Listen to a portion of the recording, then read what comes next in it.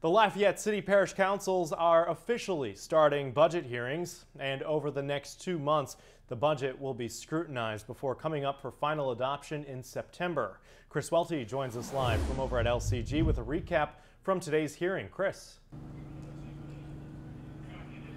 Hey Jim, Lafayette Mayor President Josh Guillory's proposed budget is $21.8 million less than last year's budget. Today, Chief Financial Officer Lori Toups gave a presentation to the Joint Councils and said that today is like the opening ceremony of the budget process.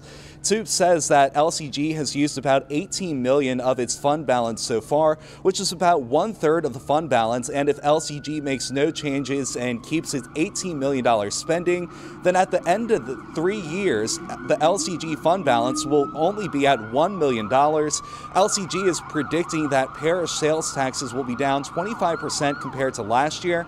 As we know, the mayor president is proposing deep cuts in parks and recreation and community development.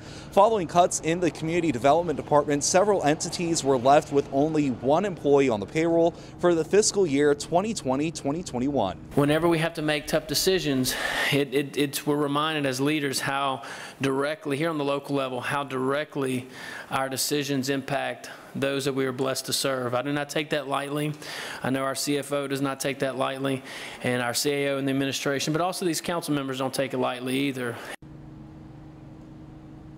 The Lafayette City and Parish Councils will hold a joint meeting on September 10th to adopt the final budget.